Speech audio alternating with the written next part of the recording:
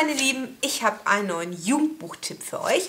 Und zwar hatte ich euch das Video, äh, das Buch schon mal in irgendeinem anderen Video von mir auch gezeigt ähm, und habe euch auch gesagt, dass mich das Cover total erinnert an äh, Das Schicksal ist ein mieser Verräter. Und ähm, ich glaube, das war auch so der erste Grund, warum ich überhaupt auf dieses Buch gestoßen bin. Also ich habe dieses Cover so gesehen und ich weiß nicht, es hat mich einfach an dieses andere Buch so erinnert. Und ähm, dann habe ich mir die Kurzbeschreibung durchgelesen, habe gedacht, es könnte voll was für mich sein und deswegen habe ich dieses Buch gelesen. Ja, ich rede von Das unerhörte Leben des Alex Woods oder Warum das Universum keinen Plan hat. Geschrieben wurde es von Gavin Extens und so sieht es aus und wenn ihr es jetzt seht, werdet ihr vielleicht auch sagen, ja stimmt, das erinnert mich auch an dieses andere Buch. Ich kann euch aber schon sagen, es hat überhaupt nichts mit dem äh, Buch von John Green zu tun, es ist ein total anderes Thema, aber es ist mindestens genauso gut, obwohl es total anders ist, auch vom Schreibstil her und so. Also ihr könnt es überhaupt nicht vergleichen. Ja, es geht in diesem Buch um das unerhörte Leben des Alex Woods und ich habe in meiner schriftlichen Rezension geschrieben, so unerhört ist dieses Leben gar nicht. Nicht nur deshalb, weil ich die Geschichte gar nicht so unerhört fand, sondern auch deshalb, weil ich ja die Worte von Alex Woods gehört habe und somit ist sein Leben gehört von mir und nicht mehr unerhört. Ne? Und ähm, das kann man, oder das habe ich eigentlich aber erst gemerkt, als ich das Buch dann am Ende geschlossen habe. Und ja, worum geht's? Also Alex Woods ist ein Jugendlicher, der eigentlich jetzt schon ein bisschen älter ist, der aber am Anfang der Geschichte so ein bisschen rückwirkend erzählt, was ihm vor ein paar Jahren passiert ist. Denn da ist ein Meteorit auf das Haus seiner Mutter gefallen und dieser Meteorit hat ihn am Kopf getroffen. Jetzt denkt ihr vielleicht so, wie ich am Anfang auch gedacht habe, so, hä, Meteorit, aus dem Weltall trifft ihn jetzt trifft ihn so am Kopf und ja, ist das Buch Fantasy oder wie? Ne? So hat das irgendwas total mit, mit äh, Astronomie und sowas zu tun. Ist es überhaupt irgendwie ein Buch dann für mich? Also ich fand das irgendwie am Anfang so ein bisschen ähm, verwunderlich. Äh, ja, also als ich halt diese, diese Stelle gelesen habe mit den Meteoriten und so und ähm, seitdem ist Alex Woods krank und zwar leidet er an Epilepsie. Und er erklärt sich das so, dass durch diesen Meteorit halt so ein bisschen Meteoritenstaub in sein Gehirn gekommen ist. Hört sich jetzt voll crazy irgendwie an. Ähm, fand ich auch, aber ich fand es total gut.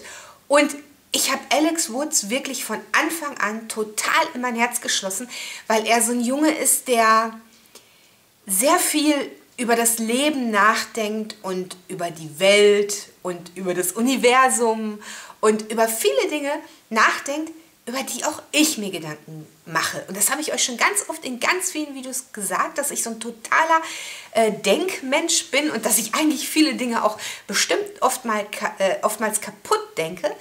Ähm, aber deswegen war mir Alex Woods irgendwie so sympathisch. Ja, und jetzt ist es so, er leidet, wie gesagt, an Epilepsie und in der Schule wird er natürlich auch gehänselt und so zieht sich sehr zurück und ähm, zieht sich sehr in die Welt von Büchern. Und es gibt einen Autor, Jetzt, ich wollte mir den Namen noch aufschreiben und ich habe es vergessen.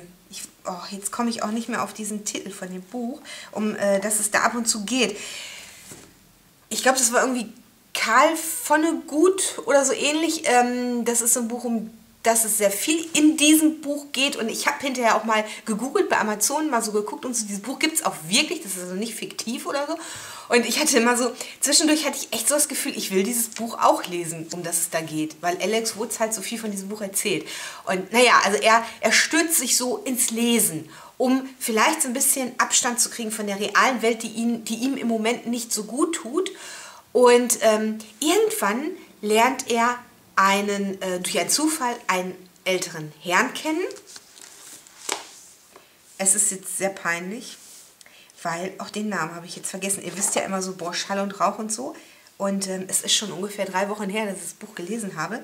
Ähm, ich habe gerade nachgeguckt, Mr. Peterson. So, den lernt er kennen, so ein älterer, ich sag mal, schrulliger Mann, der auch sehr... Äh, ähm, ja, introvertiert lebt, sag ich mal, und auch sehr abgeschottet und so. Und die beiden lernen sich halt kennen und freunden sich an.